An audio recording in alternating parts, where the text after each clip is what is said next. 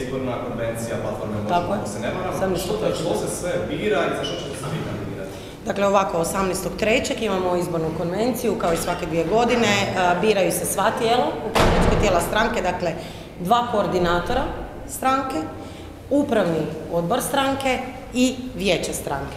Dakle, samo da o, objasnim, dakle, vijeće stranke je šire tijelo gdje, e, koje donosi najznačajnije političke odluke, upravni odbor upravlja zapravo strankom i donosi odluke na zapravo tjednoj razini. Koordinatori stranke su ono što se u drugim strankama naziva predsjednici ili su predsjednici stranke. Dakle, to, to, je, to su tijela koja biramo.